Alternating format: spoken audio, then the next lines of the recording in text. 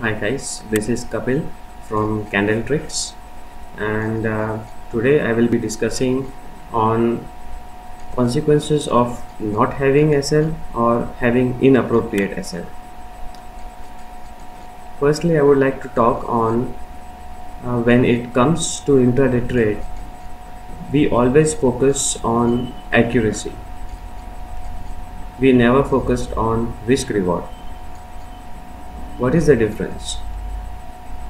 What is risk reward? Risk reward risk risk, risk reward is nothing but your sl and your target. Risk is your stop loss and reward is your target. So even with an accuracy of 80% you might be in losses if your risk reward is not good.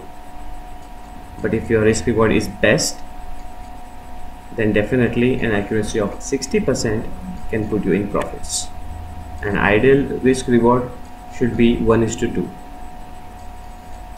Anyways, now what happens when you don't keep a stop loss? Simple.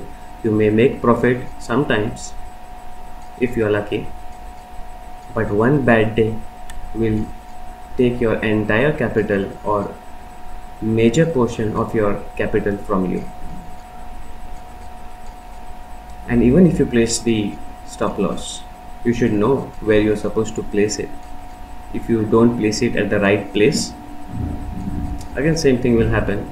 Market makers will hit your SL and then the stock will rally and you can't do anything and you feel yourself helpless guys even I have done all these mistakes earlier but now I know where to keep my stop loss. And to end with let me tell you one thing. If you don't know when where what and how to trade don't put your capital at risk first learn then practice and then start earning consistently. Making profits is not a big deal but making profits consistently is what we call a successful trader. Now I know where to keep my stop loss just because of Kishore sir.